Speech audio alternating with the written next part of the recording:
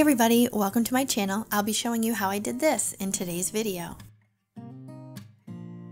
Alright, so today I'm going to be using some newer products. Um, the first one is FolkArt Pouring Medium. I've had it for a while and I keep forgetting to use it. So I decided that since I bought these new Deco Art Pure Pigment paints that I would use it with these. Um, I've got five different colors and I'm going to just jump in and get started here. Now the way that I mixed these is one tablespoon of paint to two and a half to three tablespoons of pouring medium. Now these pure pigment paints are quite a bit thicker than a regular craft paint.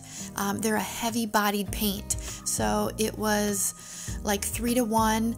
Um, but what happened was I made them the night before and then um, of course, I covered them, but then the next day when I checked them, they had thickened up. So I, I ended up having to add some water. Now, I didn't measure the water, so I can't really tell you how much I added, um, but it was. Um, you know enough to get to the consistency that I needed. And of course I let them set again because there was quite a few air bubbles. Um, and so I let them set another day and you know they thickened up a little bit again. I gave them a stir. Uh, they seem to be okay but they're a little bit thicker than I would normally use uh, with my paints. Um, but the colors are really, really nice and vibrant. So I have uh, high hopes for these pure pigment paints. Now, I did forget to tell you the white that I used is actually Artist Loft white, and I mixed that. Um, a little bit less of the pouring medium because it's not as heavy of a body. It's more of a softer medium bodied paint. Um, so I didn't need quite as much of the uh, FolkArt pouring medium with that. Um, so anyway, back to what back to the um, painting here. Um, you can see that these colors are nice and vibrant. I, I think they look really pretty. The only problem, like I said, is there's a ton of air bubbles. So I um, am definitely having to use my torch uh, to get those out. And then I do have some of the white left. So I'm just going to go ahead and use it, pour that um, next to it, which will help the paint, um, you know, glide over the, the canvas. Um, and I and I just wanted to use it up, so that's mainly I think the reason why I'm doing it too. So and then I'm gonna just go ahead and use my spatula there and just spread it out over over the canvas and it doesn't have to be you know perfect I've said it probably a million times just enough to to kind of get it uh, coated there.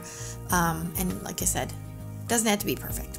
All right, so I've got it there, and then I'm just going to go ahead and start tilting here. Um, I really, really like uh, the design that it made going back and forth on uh, the canvas. And um, so I'm just to move it around and try to cover it. But while I'm doing that, I did want to kind of go over some pricing with you. The uh, FolkArt Pouring Medium for a 16 ounce bottle is regular $9.99 and I got it at Michael's. I did have a coupon, uh, so I think I paid $4.99 for it. So that really, especially if you have a coupon, that is um, a really good deal. And the pure pigment paints from FolkArt are regular $4.99. I had a coupon for those and I think I paid $2.99 a piece. Um, so that is a really good deal, I think, for a um, more pigmented paint. These colors really are nice. I'm, I'm pretty impressed with um, how bright and vibrant the colors are.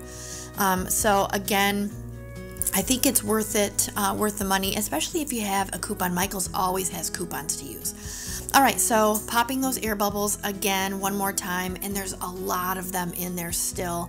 Um, I think it's just because I maybe should have added a little more water to it. Um, they would have been able to um, come up through the paints, but they'll still probably work their way out um, while it's sitting here. So you can see that these colors are nice and bright, and I'm really curious if you guys have tried these um, pure pigments from FolkArt and also the FolkArt um, pouring medium. So leave me a comment below if you have and let me know what your experience has been with it. Okay, so now we just have to wait and see how it dries. Alright guys, here's the dried results and I am really happy with how this dried. The colors are nice and vibrant. It dried very shiny. I do think that the um, FolkArt Pure Pigments are worth the money. Even without a coupon, they do go a long way. The pouring medium is very nice as well, so I recommend both of these products. All right, guys, so don't forget um, to like my video, subscribe to my channel, and share this video too if you think someone may benefit from it. Also, I have a bunch more videos for you to check out, so click one of those links on the left, and I'll catch you in my next video.